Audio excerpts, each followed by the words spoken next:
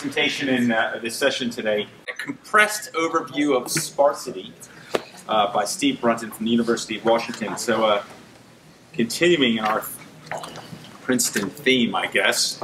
Um, so, Steve got his, his BS degree from Caltech.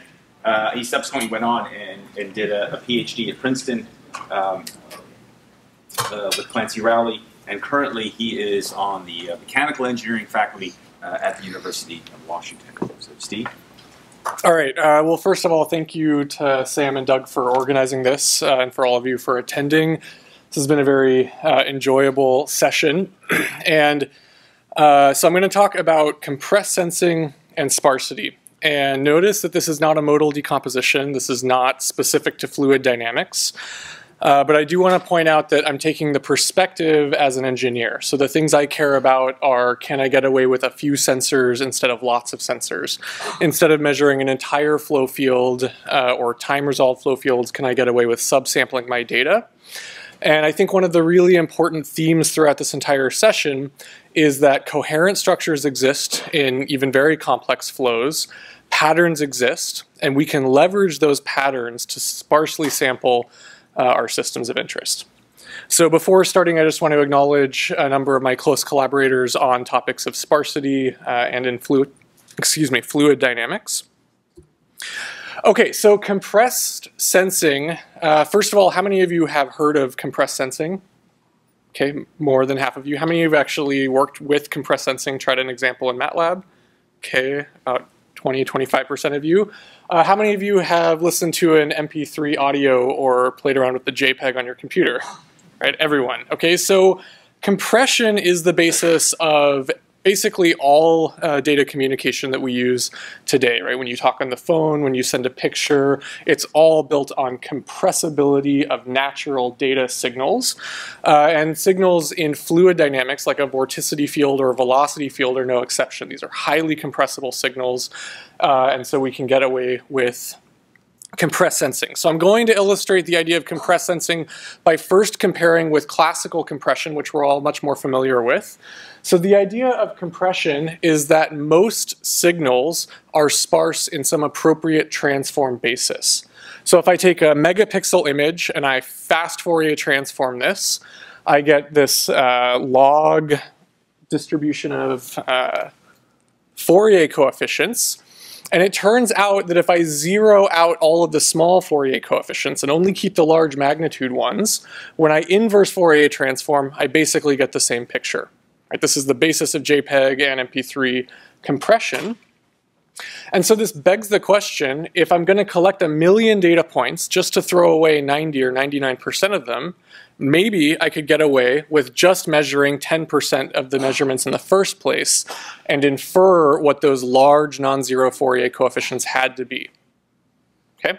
Now, this is a lot easier said than done, and it's only because of some remarkable advances in the applied math and statistics communities in the last 10 or so years that it's possible to actually do this. So we know signals are sparse in an appropriate basis.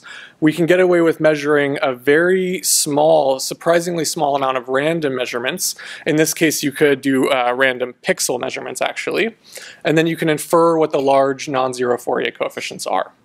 Okay, so I'm going to use examples and images to start because I think that's very intuitive for most of us. We all kind of have a feeling for what, what images are. But you can think of the exact same thing with respect to your data of interest, whether it's a flow field or a time series of a hot wire measurement or whatever you're interested in. It's low dimensional in some transform space. Okay, so I like to explain a little bit of why all natural signals are compressible. This is very uh, important. And the idea is that our pixel space, or in more general context, our data space is larger than astronomical. Okay, so I want you to do a thought experiment. We're going to consider you have a 20 by 20 pixel image, and every pixel can either be black or white. Okay, how many possible images do you have? Well, I ask my students and I get the wrong answer. I'll ask you, uh, and I'm assuming you'll say something like 2 to the 400, right? Every bit can be independently flipped. I get 2 to the 400 possible little dinky black and white images with 20 by 20. Uh, that's more uh, possible images than there are nucleons in the known universe. It's a dinky little image, let alone uh, like a megapixel full color image is much more vast of a space. Um, and if I randomly sample from image space, I can sample randomly forever, and all I'm going to get is TV static. Okay? Natural images, natural signals, natural flow fields live in a tiny, tiny, minuscule corner of this vast image space. And you could spend all of your life sampling this and never find a flow field, never find a mountain. Just an idea of how vast this space is. For example, right now I'm looking at you.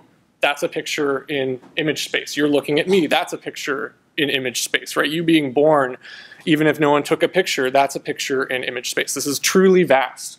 Uh, and all of the structured images that you ever care about, anything that's not pre-compressed, lives in this tiny, tiny corner of this vast image space. And the same is true of flow fields. The same is true of uh, hot wire measurements. These are, are very sparse in some appropriate transform basis. Okay, so the idea here is instead of collecting a ton of measurements just to transform and throw away a lot of information, instead what we're going to do is measure less measurements, the small vector y, and we're going to try to infer what this sparse vector of coefficients had to be to be consistent with those few measurements. Okay, so in this picture, uh, which was taken from Baraniuk 2007, very nice review paper, uh, we have our discrete Fourier transform, some measurement matrix, our few measurements y, and we're going to try to infer uh, this sparse vector A of coefficients that are consistent with those few measurements. So this is an underdetermined system of equations. Unless I really messed up, there are infinitely many possible vectors A that satisfy those measurements Y. And if I do a least squares solution, I'm going to get a solution A with a little bit uh, of coefficients in all of these, these positions. And that's not what I want. That's not the sparsest solution. That's not consistent with the fact that if I take any data and transform it into an appropriate basis, it's sparse. And so the real magic of compressed sensing comes in this optimization here, which essentially gives us a mathematical way of finding the sparsest solution to this underdetermined system of equations in a way that actually scales to large problems. Before, if I wanted to solve this, I'd have to essentially try different combinations of sparse vectors. I'd have to pick, let's say I, I, think that maybe only three coefficients are important. Well, I'd have to try all possible locations for those three coefficients and see if that's consistent with my measurements. So that's a brute force combinatorial search. I'd have to search for n choose k uh, if I think that I have a k sparse signal. Until the compressed sensing guys, Donoho and Candes and Romberg and Tao, among many others, gave us a mathematical foundation to actually optimize for this sparsest solution using convex optimization techniques that scale to large problems like full megapixel images or turbulent DNS. Okay? And the idea is that instead of finding the absolute sparsest vector, what we're going to find is a vector A that satisfies this system of equations that has a minimum one norm. And so the minimum one norm is a proxy for sparsity. And in a number of uh, situations, you can prove that this will actually converge to the sparsest solution of that underdetermined system of equations in a convex, uh, a convex way. So when I say convex, what you should take away from this is this scales with Moore's law. If I want to solve a problem that's bigger, I just wait for a couple of years and I get a faster computer and I can solve it. And that wasn't true uh, 10 years ago. Okay, Okay, so I like to give a little example, uh, and I'll point out that all of these examples that I'm going to show, so the first compression example and this, and the, the later examples, you can just download these MATLAB codes from my website. Uh, this is a really, really simple example where I have a signal, which is the sum of two sine waves on the left. Okay, so I've got these two peaks uh, in the power spectrum. If I zoom in, you see that I have these kind of two frequencies that are active. And Shannon-Nyquist sampling theory says I need 1,062 samples per second to adequately resolve the fastest uh, frequency in this signal. Okay. Now, what I'm going to tell you is that Shannon-Nyquist is in some circumstances not a very good bound on how many samples you need. Okay, so it turns out this is actually only true for broadband signals or signals that have lots and lots of different frequency contents. In other ways, this would be true if I had a compressed signal, but not for this signal that is sparse in Fourier. Okay, so this only has two frequencies that are active, and so I can get away with massively undersampling. So compressed sensing says that instead I can get away with an average sampling rate of 128 samples per second if I randomly distribute uh, those, those measurements in time. So I can't uh, just downsample to 128 samples per second. I have to randomly space them with an average sampling rate of 128, uh, which is considerably lower than Shannon-Nyquist. And if I do that, I can solve this underdetermined system of equations for which few Fourier coefficients are most consistent with those red measurements I took up here. And when I do that, I actually find that I get a pretty good approximation to the two frequencies, the power in those frequencies, and I get very accurate signal reconstruction. Okay, this is a couple of lines of MATLAB code. This is two or three lines of MATLAB code to find the solution uh, from this sum of two sine waves. Okay, so Shannon-Nyquist isn't wrong, but it's only really a hard limit for broadband signals. Okay, if I have a signal that is sparse uh, in, in frequency domain, then I can get away with massively undersampling. Okay, another application. So I'm just going to go through kind of different applications of sparsity and compressed sensing as, uh, as they've been classically treated, and then we can think about how they're useful for, for fluid dynamics. So many decades before compressed sensing, the same ideas of sparsity and L1 minimization were actually used for uh, robustifying statistics and outlier rejection. Okay, so let's say that I want to do a POD or a DMD, right? So I collect my data and I'm going to do some linear regression to find a subspace that best describes my data. Now, by eye, it's easy to see that there's a low dimensional uh, in this case, a line that describes most of the features of this data set, but I have this big outlier that's really, really off. And we get this all the time, right? You take PIV images, you have bad, bad outliers, okay? So if I do a least squares regression, which is what POD would do, or DMD, what I get is this massive bias that shifts my entire line down to compensate for that single outlier, okay? Now you don't want that, you want the original white line. So instead what you can do is find an L1 norm minimizing solution. So instead of finding a, a plane or a line that minimizes the sum square distance to all of the points, I'm just going to minimize the one norm distance to all of these points, which is just the sum of the absolute value of that distance. And that uh, effectively robustifies this fit to this, this outlier. Okay, so this is directly applicable for flow cleansing from PIV, uh, which is a topic we're working on right now. Um, people have also used this to get better uh, POD and DMD approximations for modal decompositions. Okay, so the idea here, again, just to reiterate, is I can take a few measurements of my system and I can find the sparsest vector of coefficients that are consistent with that using the same L1 norm uh, minimization techniques. Okay, so let's try another example with a little bit of MATLAB code here. So here I'm going to make a system AX equals B. I have A as a random uh, matrix with entries that are, so it's 200 by 1,000. So B is 200 tall and X is 1,000 tall okay? Massively underdetermined system of equations. And there's lots of different ways I could solve this. I could just do backslash or pseudo inverse in MATLAB. That's the L2 solution. And if I look at the entries of my x vector that satisfies the system of equations, if I just do the pseudo inverse, the L2 solution, you'll notice that the values in x are kind of all over the place. There's lots of values that are not zero. Most of the values are not zero. There's kind of distribution. But if I find the L1 minimum norm solution to this system of equations ax equals b, since I only have 200 equations, I should be able to satisfy this with an x vector that has exactly 200 non-zero entries. Okay, and so if I do the L1 minimum norm solution, I find that I get a vector x with 800 zeros and exactly 200 entries that are non-zero. So I get a very sparse solution to this system ax equals b. uh, which is essentially what our compressed sensing problem was in the first place, was trying to find a sparse vector uh, x that was consistent with my measurements in, in B. Okay, so this is one example of how the L1 norm promotes sparsity. I'm going to show you another picture that was taken from a SIAM review in 2013.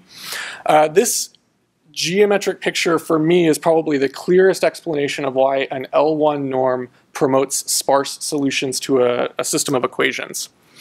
Okay, so let's say I'm trying to find a solution to my underdetermined system of equations, and I try to find the minimum L2 norm solution x. That's my least squares solution.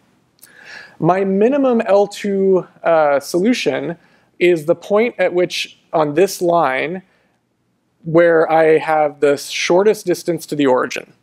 Okay, so it's at this point that's tangent to the circle.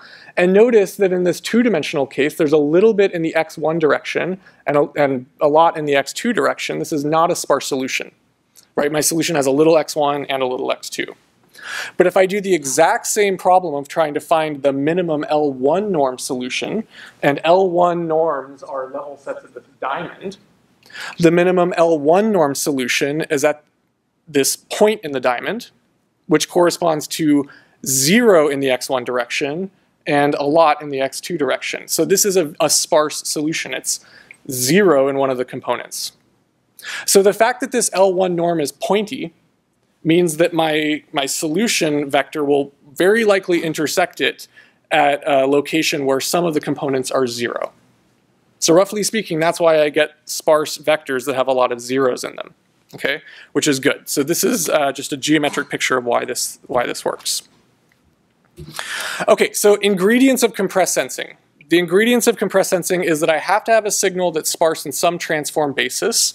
And just an important point is that wavelets and Fourier uh, bases are really good for engineering purposes because First of all, most signals are sparse in wavelets and Fourier if they're broad, non-localized structures like POD modes.